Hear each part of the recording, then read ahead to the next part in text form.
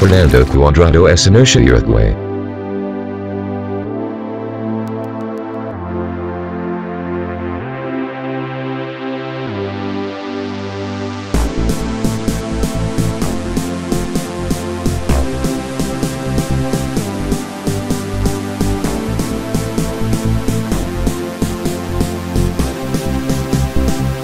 What happens when you make a phone call?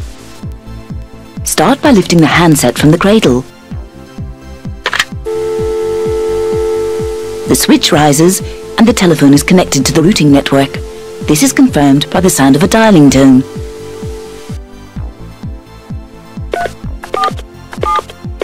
A number is dialed and transmitted.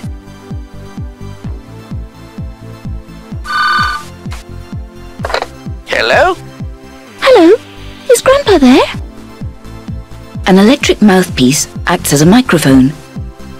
Sound waves from your voice make a plastic disc vibrate, changing the distance between it and a metal disc.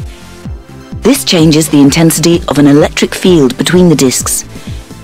The changing field causes a varying electric current to travel down the phone line to the receiver of another phone, where the current is changed back into your voice. The receiver is a loudspeaker converts the electronic signal to sound by passing the current through a pair of electromagnets. The magnets vibrate a metal diaphragm that reproduces your voice. What happens next depends on the kind of call you make. Which kind would you like to make? When you make a local call, the call goes to a computer-controlled routing station, where it is automatically sent to the local number being dialed. Hello?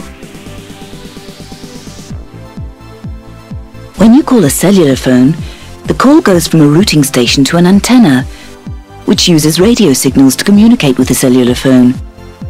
Each antenna serves a small area called a cell, and together, the cells resemble a honeycomb.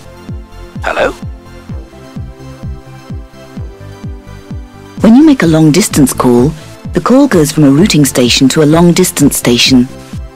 If the call is international, it can be connected via satellite from one routing station to another.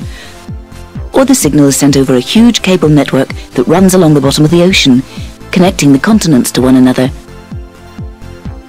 Hello?